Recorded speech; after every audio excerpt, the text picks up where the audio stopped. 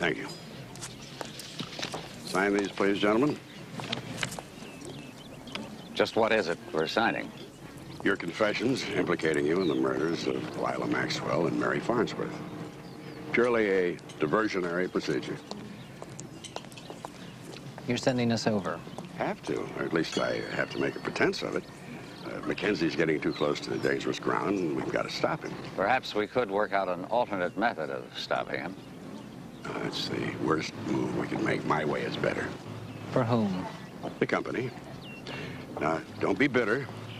You knew there was this possibility back at the beginning.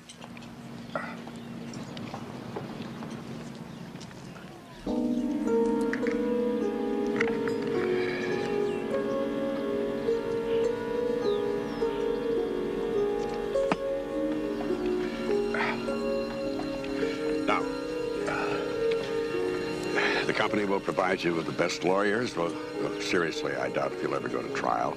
Uh, you'll remain on salary. Your uh, families will be taken care of in any event.